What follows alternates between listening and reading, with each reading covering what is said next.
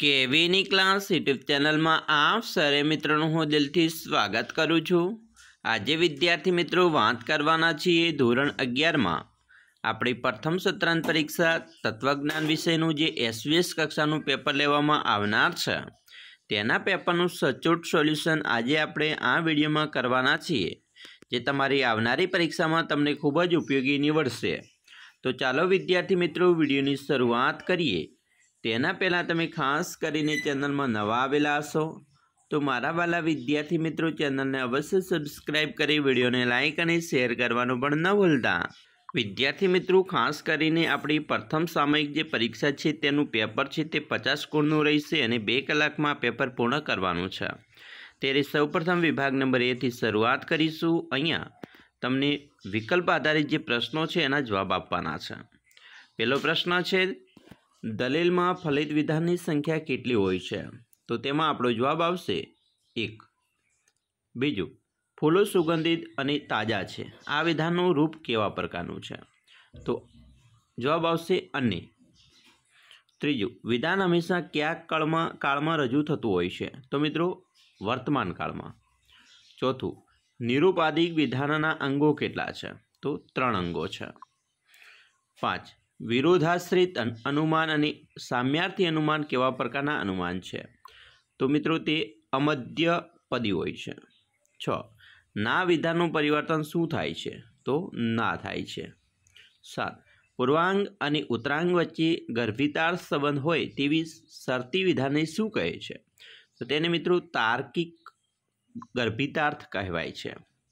આઠ. જો પંખો ચાલે તો હવા આવે, આ વિધાનની પ્રાતિક રજૂઆત કેવી રીતે થાય છે? તો મિત્રો પી સરતી ક્યુ એવી રીતે થાય. નવ. એક આદ્યસ્તંભના સત્ય કોઠામાં કેટલી હરોળો હોય છે? તો બે હરોળ જોવા મળે છે. દસ. જટિલ વિકલ્પના કયા સર્વોપારિક સર્વોપરિકારકનો ઉપયોગ થાય છે? તો તેમાં જવાબ આવશે બી હવે વિભાગ બી ઉપર જઈશું. નીચેના પ્રશ્નોના ઉત્તરો એક વાક્યમાં લખો. જેમાં મિત્રો અગિયારમો એટલે કે વ્યાખ્યા આપવાની છે સંભવિતાર્થ સંબંધ.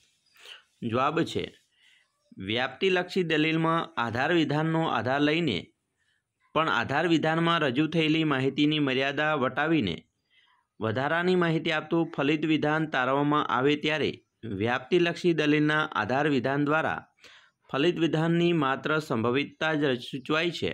એટલે કે વ્યાપ્તિલક્ષી દલીલમાં આધાર વિધાન અને ફલિત વિધાન વચ્ચે સંભવિતાર્થ સંબંધ હોય છે. બારમો પ્રશ્ન.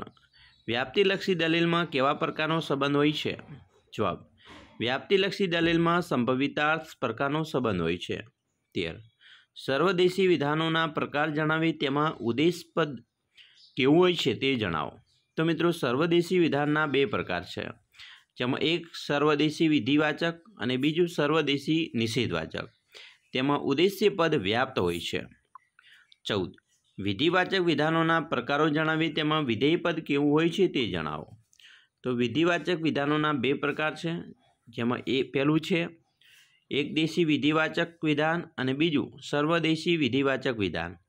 આ બંને વિધાનમાં વિધેયપદ અવ્યાપ્ત હોય છે. પંદર. સામ્યાર્થ અનુમાન એટલે શું? જવાબ. આધાર વિધાનની સત્યતા કે અસત્યતા પરથી અનુક્રમે ફલિત વિધાનની સત્યતા કે અસત્યતા અંગે અર્થની સમાનતાને આધારે તારવેલા અનુમાનને સામ્યાર્થ અનુમાન કહેવામાં આવે છે.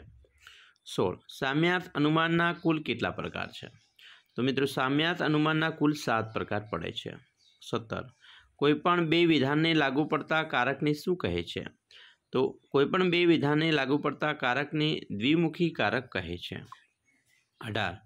પી ક્યુ આર એસ વગેરે મોટા અક્ષરને શું કહેવાય?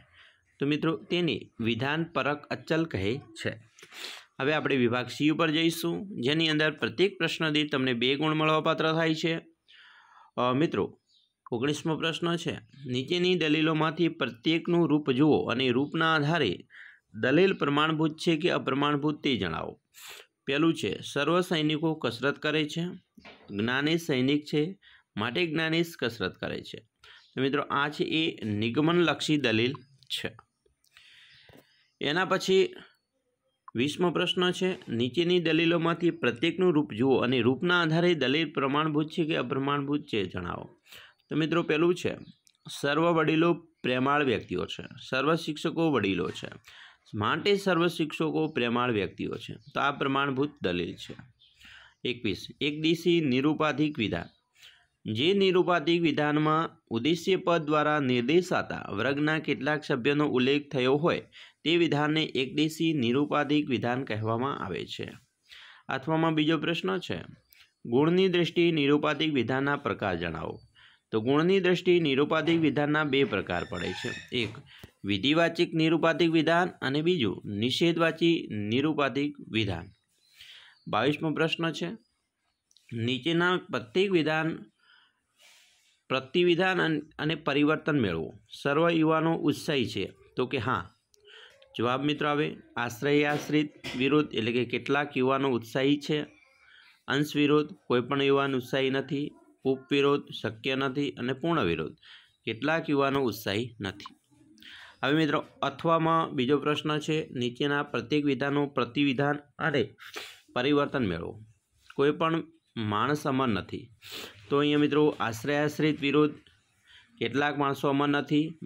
અંશ વિરોધમાં આવશે. સર્વ માણસો અમર છે. ઉપવિરોધમાં શક્ય નથી અને પૂર્ણ વિરોધમાં કેટલાક માણસો અમર છે. ત્રેવીસમો પ્રશ્ન મિત્રો છે. નીચે આપેલ સંયુક્ત વિધાનોના પ્રકાર ઓળખાવો અને તેની અંદર આવતા સાદા વિધાનો A B C D P Q R વગેરે પ્રતીકો વાપરીને તેમના પ્રતીક, પ્રતીકની પ્રતીક રજૂઆત કરો. મિત્રો એ સાચું નથી કે આજે સોમવાર છે. ચાલો. તો વિધાનનો પ્રકાર છે નિષેધ. સંકેતાવલી આવજે, સોમવાર છે.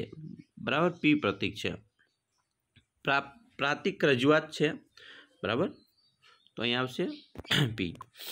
ચોવીસમું છે, નીચે આપેલા સંયુક્ત વિધાનોના પ્રકારો ઓળખો અને તેના અંદર આવતા સાદા વિધાનો માટે A B C D P Q R વગેરે પ્રતીકો વાપરીને તેમના પ્રત્યેકને પ્રતીક રજૂઆત કરો. તો અહીંયા મિત્રો આવશે, સત્યનો પરાજય થાય છે એ વાત સાચી નથી.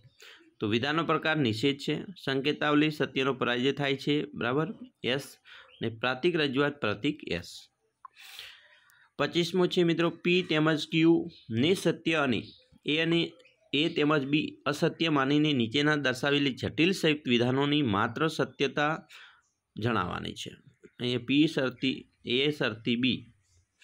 બરાબર? જવાબ છે. તો અહીંયા મિત્રો તમને આવી રીતે આપણે કોઠો છે, બને છે. બરાબર? એટલે કે સત્યતા, સત્યાસત્યતા, તો કે આ જટિલ શરતી વિધાન અસત્ય એફટી છે. બરાબર? જટિલ શરતી વિધાન અસત્ય એફટી છે. ચાલો, વિભાગ ડી ઉપર જઈશું, જેમાં પ્રત્યેક પ્રશ્નની ત્રણ ગુણ મળવાપાત્ર થાય છે. વિદ્યાર્થી મિત્રો, અહીંયા છવ્વીસમો પ્રશ્ન છે, દલીલનું પ્રમાણ્ય કઈ રીતે નક્કી થાય છે? તો મિત્રો, એના માટે આ જવાબ તમારે તૈયાર કરવો ખૂબ જ જરૂરી છે, બરાબર? તો મિત્રો, ખાસ કરીને આ પ્રશ્ન વાંચી, એનો જવાબ વાંચી સમજી અને તમારે તૈયાર કરી લેવાની છે, બરાબર? તો ખાસ મિત્રો, આ પ્રશ્નોનો જવાબ તૈયાર કરી લીજો મોસ્ટ આઈએમપી છે.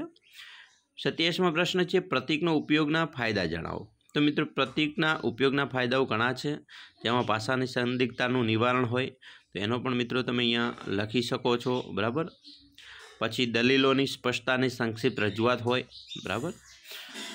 પછી તો અને બૌદ્ધિક શક્તિનો બચાવ હોય. તો આ પ્રશ્નો પણ મિત્રો તમારા માટે મોસ્ટ આઈએમપી બની રહેશે, તૈયાર કરી લેજો. વિભાગ ઈ ઉપર જઈશું. મિત્રો, અહીંયા મુદ્દાસર જવાબ આપવાના છે. પ્રત્યેક પ્રશ્નથી ચાર ગુણ છે. જેમાં અઠ્યાવીસમાં છે વર્ગ એટલે શું? તો વર્ગ સમાવેશના સંબંધની ચાર શક્યતાઓ જણાવો. તો મિત્રો, વર્ગ શું છે? તો નિરુપાધિક વિધાનોના ભાવા સમજવા માટે તેમાં આપેલા ઉદ્દેશ્ય પદ અને વિધેય પદના વર્ગ ગણીને સમજી શકાય છે, બરાબર? અને વર્ગની વ્યાખ્યા છે કે અમુક વિશિષ્ટ ગુણો કે લાક્ષણિકતાઓ સમાનપણે ધરાવનાર વ્યક્તિઓ કે પદાર્થોનો સમૂહ એને વર્ગ કહેવાય, જેમ કે માણસનો એક વર્ગ છે. તો આવી રીતે એનો પણ જવાબ તમારે તૈયાર કરવાનો છે. પછી વર્ગ સમાવેશન અને વર્ગો વચ્ચેનો સંબંધો પણ અહીંયા તમે જોઈ શકો છો આ પ્રશ્નનો જવાબ આ રીતે લખી શકાય. પછી ઓગણત્રીસમો પ્રશ્ન છે, વિધાનનો વિરોધ એટલે શું? તેના પ્રકાર વિધાનના વિરોધના ચોરસના આધારે તેના પ્રકાર સમજવાના છે, બરાબર? તો મિત્રો, ખાસ કરીને આ પ્રશ્નોનો જવાબ તમારે આ રીતે લખી શકાય અને તેની તૈયારી પણ કરી લેવાની રહેશે. બરાબર, વિદ્યાર્થી મિત્રો? મોસ્ટ આઈએમપી છે.